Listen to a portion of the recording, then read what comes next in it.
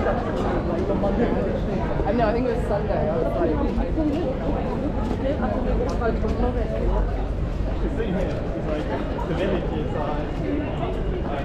uh,